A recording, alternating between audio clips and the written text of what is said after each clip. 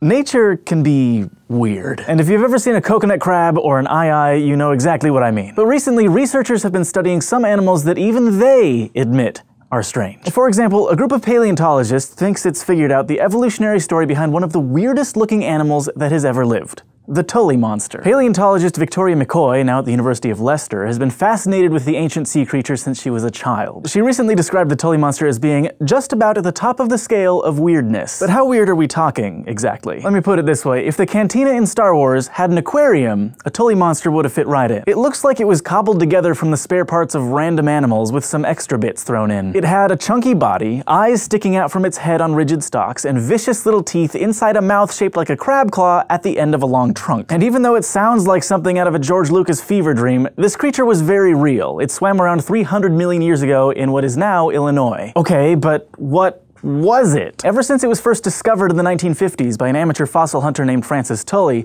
scientists have been stumped by it. But McCoy and her colleagues examined more than 1,200 fossilized Tully monsters that have been found over the last 60 years, and they announced last week in the journal Nature they have solved the mystery. For the most part. While studying high-resolution photographs of all of the known fossils of the creature, which is officially known as Tullimonstrum, they found some crucial features that had been overlooked before. For example, Tully monsters have a pale band running through the middle of their bodies. This was originally assumed to be a gut tube, sort of a primordial digestive system, but that wasn't very helpful considering that most animals have some kind of gut. But gut tubes tend to be much darker when they show up in fossils, and they stop before reaching the tail at the anus. But the pale band found in the monsters extended clear through the tail. Furthermore, some Tully monsters showed two bands, a dark one and a light one, so the light band had to be something else. It turns out it was a rudimentary spinal cord. This means Tully monsters weren't giant worms or slugs, they were vertebrates. With that important clue, the scientists searched branch after branch of the tree of life looking for similarities with other creatures. In time, some some features that they'd noticed before began to make more sense. The backward pointing teeth made of keratin, for example, and the faint outline of a simple brain and its single nostril. All of these traits are shared by Tully monsters and one other known animal,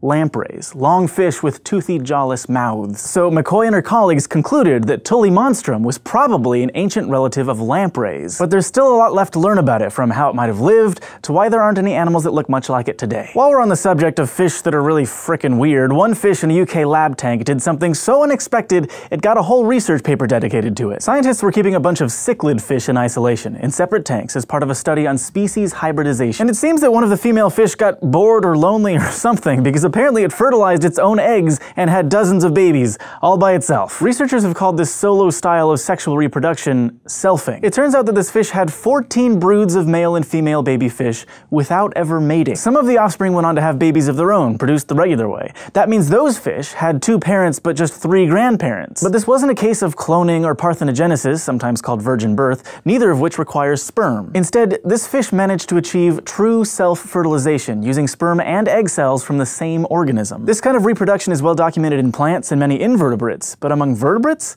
it's almost unheard of. But how does one go about selfing oneself? Well, in the cichlid's case, it managed to develop a functional testis. Basically, one of its ovaries started producing spermatocytes, the precursors to sperm cells. So now scientists are trying to figure out how she managed to pull this off. Sex determination in cichlid fish is pretty complicated. Each species has its own system, controlled by genes, the environment, or both. And the fact that this fish was a hybrid of two closely related species further complicates things. But for now, researchers think that selfing might be a rare evolutionary strategy that some animals can use to reproduce in a new or changing environment, places where weird risks are more likely to pay off. So thanks, nature.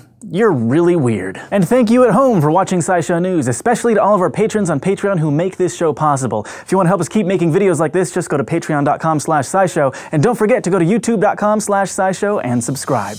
When engineers talk about artificial intelligence, they don't mean sentient humanoid robots conversing with us, talking to us, becoming, feeling that taking over the world, destroying us. AI